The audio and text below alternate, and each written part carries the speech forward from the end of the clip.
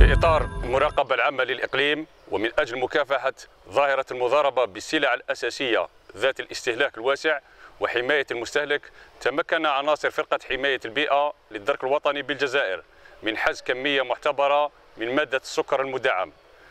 العملية جاءت بعد ورود معلومات مؤكدة للفرقة مفادها قيام شركة مختصة في الإنتاج الخرساني. يقوم أصحابها باقتناء وتخزين مادة السكر المدعم واستعماله كبديل لمادة كيميائية في صناعة المضافات على الخرسانة.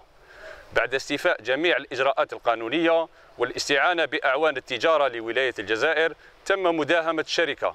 أين تم ضبط وحجز 11250 كيلوغرام من مادة السكر الغذائي و34 ألف لتر من المضاف الخرساني المصنوع من مادة السكر مع توقيف أربعة أشخاص مشتبه فيهم.